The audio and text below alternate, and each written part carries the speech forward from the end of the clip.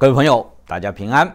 昨天呢，我在视频当中讲了一个观点，我说啊，川普对中共动手的时间可能要等到第一阶段协议啊执行完了之后，或者是等到美国大选结束了之后。那后来呢，想了一想，这个观点呢需要修正，川普可能等不及了，可能会提前对中共动手。为什么这么说呢？川普现在呀面临着两个啊非常大的问题。第一个呢，就是经济危机的问题；第二个呢，就是疫情蔓延的问题。过去这大半个世纪呢，世界经济啊都是有很明显的这个周期性的，啊，就是啊，大概每十到十三年呢，就会经历一次这个从繁荣到衰退的这个循环。那上一次呢，世界性的经济危机是在二零零八年，到今年呢，已经整整十二年了。川普呢？算他运气不好，正在他想连任的时候，就碰上了这么一场经济危机，这对他的这个选情是非常不利的。他过去一年多的时间呢，一直在催那个美联储的主席鲍威尔，要他赶快降息，赶快降息啊！不降息就骂他，他就是想用降息这个方法，把经济危机推迟到他大选之后，推迟到他这个成功的连任之后。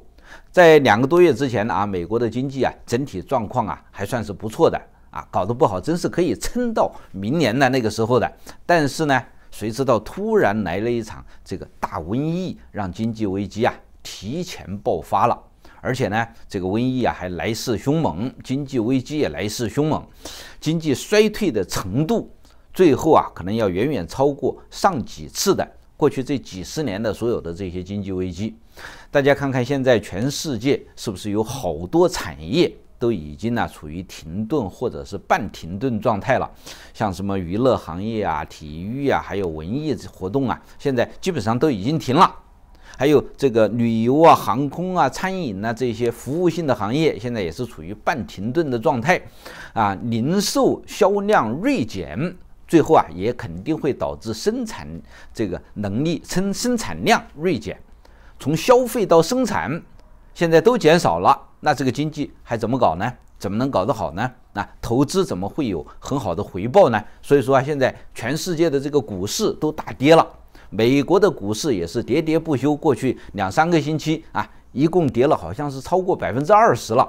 今天一天呢，美国三大股指我查了一下啊，都跌幅达到了百分之十二，几万亿美金呢就这么蒸发掉了。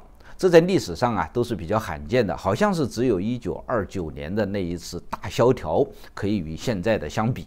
所以说啊，这也是一场这个世纪性的大萧条。而这次瘟疫呢，啊，它波及的地区啊，还有这个确诊的人数、死亡的人数啊，几乎是可以和将来可能会和最后可能会和这个一九一八年的西班牙的那个大流感相比。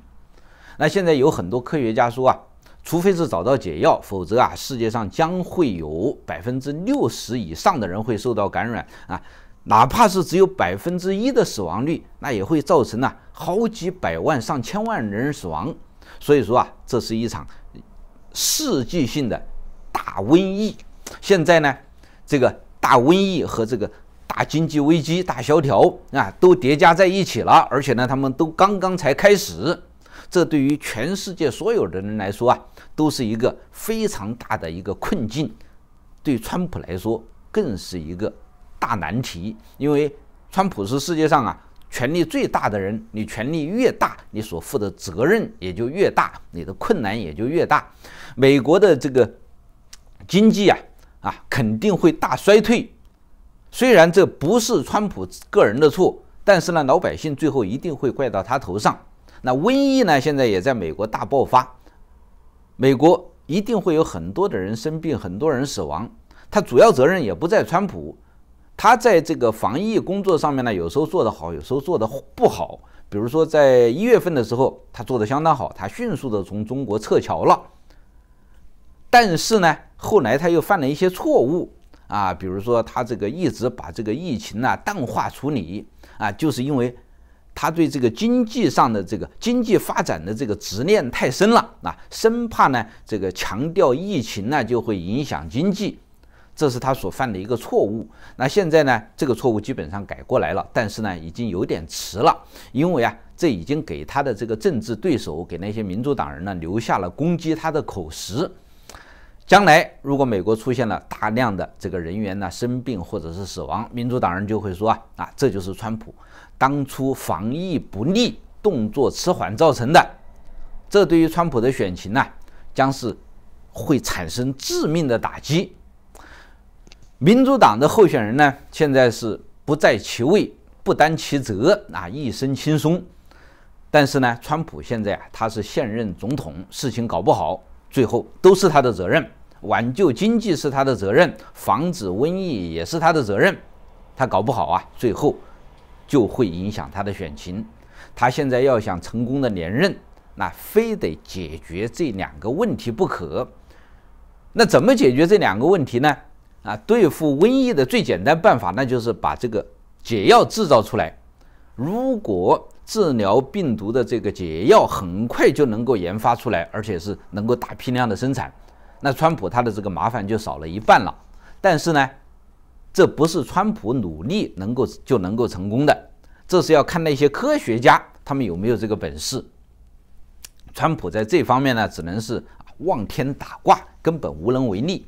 那在经济方面呢，这一年半载啊，也是绝对不会有任何起色的。经济有它本身的规律，那一旦陷入这个衰退期了，至少也得要个两三年才能够反弹。再加上啊，这场瘟疫又是雪上加霜，所以经济复原的这种啊呃这个时间呢周期需要的更长。而美国的大选呢，今年十一月三号就要投票了，川普他肯定是等不到经济这个复苏了。所以有些朋友那就可能就会问了，啊，按你这么说，这川普这次就输定了？那也未必。世界上啊，没有解决不了的问题，没有打不开的锁。正面解决不了的，那就可以从侧面解决嘛。啊，常规的方法解决不了的，就用非常规的方法解决。那现在呢，川普还有一个办法可以帮他呀摆脱这个困境，解决这个问题。什么方法呢？就是公布中共制造病毒的证据，让中共为这次大瘟疫负责。然后呢，川普联合世界各国的力量，把中共做掉。啊，大家不要误解啊！我不是说啊，要美国啊联合全世界跟中共打一场军事战争，完全不必要。只要打一场政治战争就可以了。政治战怎么打呢？只要川普公布了这个中共制造病毒的证据，那就等于是宣布啊，习近平当局是人类公敌了，犯有灭绝人类的罪行。中共体制内的任何人，你只要支持习近平，那就是共犯。就会遭到全世界的制裁。那么这个时候啊，中共体制内的那些大大小小的官员呢，他们为了保护自己在西方的这些国家的财产和家属啊，他们就会想方设法的把习近平拉下来。那政变、兵变、民变啊，就会啊相继发生，颜色革命就会发生。啊，做了这么一件事情之后呢，即使是。美国的经济大幅度的下滑了，即使是美国人在瘟疫当中啊啊损失惨重，大家都不会再去怪罪川普了，因为川普啊已经帮美国人打垮了啊引起这场灾难的元凶了，啊已经为美国人民报了仇了，已经为全世界受害者讨回了公道了，同时呢，他也为美国为全世界除掉了一个心腹之患，那他就成了大英雄了。那他就成了这个可以和里根相媲美的伟大总统了，立了这么大的功劳。那以前的防疫工作上面犯了一点点小错误，谁又去和他计较呢？整垮了一个这个全世界最大的一个专制政权，那就足够让他名垂青史了。像拜登这种没什么建树的政客，他就根本没有办法和川普去竞争了。所以川普啊，最后就可以成功的连任。所以呀，川普为了自己的这个选情，现在啊，他就应当和习近平翻脸。前几天呢，有位网友在我的视频下面有一个留言啊，他让我解释一下为什么这个川普啊总是赞扬习近平。在这里呢，我就给大家解释一下，川普过去一直赞扬习近平，目的就是要和习近平呢达成这个贸易协议啊，还要让习近平去执行这个贸易协议。在瘟疫和经济危机爆发之前呢，川普认为只要这个第一阶段贸易协议啊能够执行得了，川普他本人的这个成绩这就超越了前几任的总统啊，他就为美国赢得了巨大的利益，他就有了资本可连任的资本。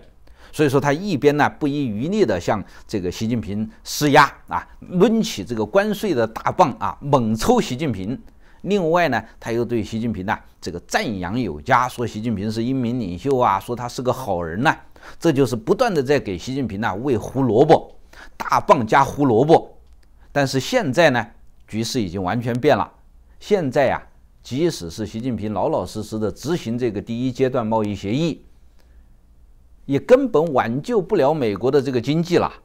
你股市一天就能蒸发几万亿美金，习近平的那两千五百亿美金的那个合同，那就是杯水车薪呐，无济于事啊。从另外一个角度来说呢，也就是说，川普现在根本就不需要这个第一阶段贸易协议了，他现在更需要的是啊，习近平来承担起这个制造瘟疫的罪名。只要让习近平承担起这个罪名了，川普就可以免于这个防疫不力的指责了。而且呢，这场经济危机它本来啊就是啊这个由瘟疫引爆的，所以说习近平也就必须得为经济危机负责了。所以说，川普连任呢，他不见得一定需要啊这个这个这个防疫搞得好，也不一定需要挽救经济，他只需要。公布习近平的罪责，让美国人去恨习近平啊，恨习近平，他就不会去骂川普了。然后川普再把习近平搞垮，再把中共搞垮，那美国人最后一定把选票投给他。那现在看起来呢，川普啊，还真的就在往这个方向走，现在已经出现了一些苗头了。那，前天呢，他告诉记者啊，说中共知道这个瘟疫啊是怎么来的，我们也知道这个瘟疫是怎么来的。这就是说啊，他现在手上已经有了证据了，对于中共不利的中共制造病毒的证据，他们已经有了。只不过是啊，在川普说这个话的时候啊，他还不想公布。但是呢，现在随着这个经济危机的这个程度越来越深，他对于习近平啊履行贸易协议的这个啊这个要求，这个动机就越来越小。这个时候啊，他。打击习近平的念头就会越来越强。那今天呢，川普发了一个推文，他推文是说啊啊，美国将会有力的支持那些啊受到中国病毒影响的行业。他现在啊已经直接把这个病毒啊叫做中国病毒了。当然了，这种说法、这种措辞啊，在政治上不是很完善啊，应当是叫做中共病毒。过去呢，这个彭斯和蓬佩奥啊，他们两个人就把中国和中共啊这两个概念分得很清楚。川普呢，他就是一个半路出家的这个搞政治的，对于政治语言的这个精确性呢不是很在行。那我相信呢，今后彭斯和这个蓬佩奥会帮他改正这个毛病。这一条推文呢，释放出来一个非常强烈的信号啊，就是啊一个准备向中共发起政治攻势的信号。具体什么时间动手，现在啊还很难确定，因为啊动手之前肯定需要做一系列的准备工作，比如说要策反中共党政军高层的那些官员呐，啊又比如说要联系这个西方各国啊，还有日本、韩国、台湾呐各国的这些啊政治力量啊，跟他们一起来打中共啊，还要啊这个调集美军呐，防止中共狗急跳墙，要围堵他们。把这些工作做好了之后。那么他就会动手了。有些朋友可能说啊，你这个是不是太臆断了啊？是不是一厢情愿？我告诉大家，不是的啊。怎么判断这些政治人物，包括川普的这个走向呢？不是看他们过去说什么，也不是看他们过去的这个历史轨迹一贯的这个行为，说什么啊？很多人是心口不一的啊。历史轨迹它也是可以突然转变的。要确定一个人物的走向。主要是要看他的利益格局，因为政治人物都不会跟自己的利益对着干，他总是要做对自己有利的事情。对自己有利的、对自己政治前途有利的，他就会去做；对自己不利的事情，他就不会去做。如果某一件事情呢，他如果不做，会给自己造成巨大的政治损害的，那他就一定会去做。这个有点像做说绕口令了啊，自己都绕糊涂了。总之，总之。川普现在的处境是啊，他过去这几年积累下来的这个经济上的成就已经完全归零了，经济危机之后已经完全归零了，而他在这个防疫方面又没有办法确定能够取得成绩。现在啊，大选在即，他拿什么向美国人交差？拿什么向美国选民交作业？拿什么他能够得分？只有一个办法。就是打击习近平，打击中共，把这个世界上最大的专制政权给干掉，为全世界的老百姓，为全世界的这些瘟疫受害者、经济危机的受害者，为他们呢讨回公道。那么他就会赢得美国，就会赢得全世界人的支持，他也就会成功的连任。所以说，他一定会做。好，今天呢我就讲到这里，非常感谢大家的收听收看，我们下期节目再见。